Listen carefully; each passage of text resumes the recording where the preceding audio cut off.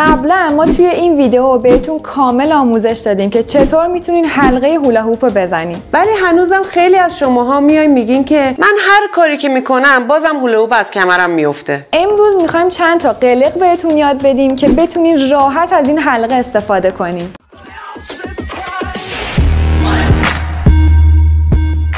سلام به همه شما ام exercise ی ها من مینا مدرس و مربی پیلاتس و حرکات اصلاحی. منم مرجانم مربی فیتنس و TRX. اول اینکه حلقه هایی که سنگین ترن و توپک دارن خیلی راحت تره باهاشون هول هوپ بزنیم. ولی برعکس هرچی سبکتر و نازکتر باشن کنترلشون خیلی سخت تره هول دادن اول هول هوپ خیلی مهمه. یعنی باید یه فشاری اول به هول هوپ بیارین تا کنترلش براتون راحت تر باشه. مهمتر از همه تمرینه. ممکنه صد بارم از کمرتون بیفته ولی بازم باید از روی زمین بردارین و دوباره انجامش بدین تا قلقش دستتون بیاد. هر زمان که دیدین که داره از کمرتون هول هوپ میفته سعی کنین که سرعت چرخش کمرتون رو ببرین بالا تا هول برگرده سر جای اولش. حواستون باشه بیشتر از 20 دقیقه در روز انجامش ندین چون هم به مهره های کمرتون فشار میاره و هم باعث بشه که عضلاتتون کبود بشه. همانطور که ویدیوی هولوپ قبلی رو دیدین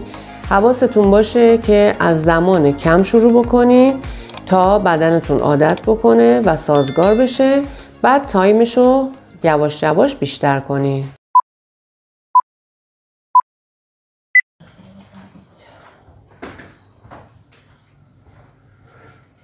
خوبه.